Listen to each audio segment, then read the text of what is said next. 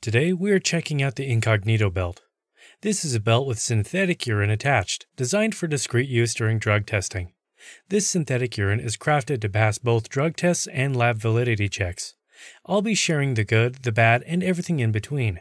But before we jump in, make sure to hit subscribe, leave a like, and ring the bell to stay updated. Let's unbox this.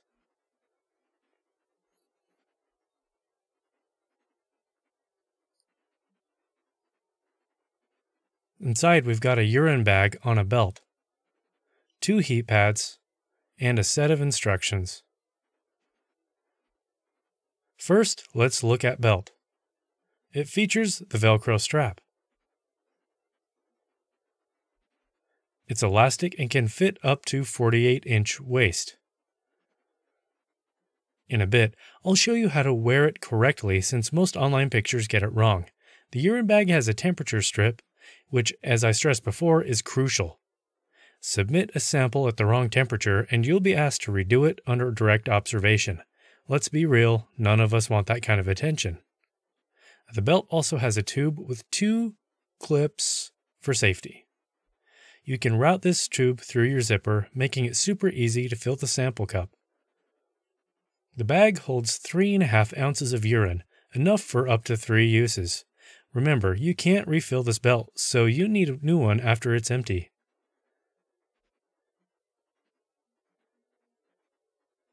The instructions are super clear, and they have a phone number for any queries or issues you might face. The only gripe I have with Incognito belt is its price. However, considering it comes with an all inclusive package with the urine, a discreet method to carry during the drug test, and a means to heat it, I'd say the price is fairly justified. Now let's learn to use it right. First, open and activate the heat pad. I already have an activated heat pad here, so I'll use it. It has a sticky side which you should attach to the urine bag between the back and the belt.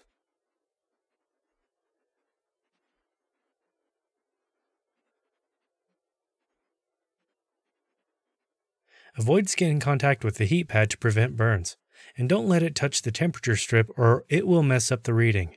And remember, never heat this belt in a microwave. A few seconds are enough to burst the bag, and you don't want urine all over your microwave, right?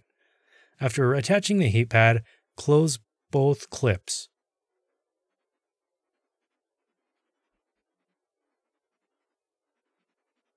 And cut the end of your tube to release the urine when needed. To wear it properly, position it on your waist with the bag sandwiched between the body and the belt. I noticed a lot of pictures online showing the bag on the outside, but that's not correct. I reckon those photos are shot to display the bag, but in actual use, it should rest inside your belt snug against your body. Your body heat can assist in maintaining normal urine temperature should the heat pad fail for any reason. Then put on your pants. I suggest pants with a fly for easy access. Then wear loose clothes on top. As you can see, the belt is pretty discreet and blends in seamlessly under the clothing. Before the test, you'll be asked to empty your pockets, but they can't frisk or touch you, so they won't find the incognito belt. In the testing bathroom, check the urine temperature. If it is within 94 to 100 degrees Fahrenheit, unclip and fill up the cup. Reclip and you're up to go. Pretty easy, right? Compared to other synthetic urines, the Incognito belt is a bit pricier. However, with the synthetic kits like Sub Solution or Quick Luck, you also need to think about how to hide them effectively, which usually means buying something like a stash lag belt.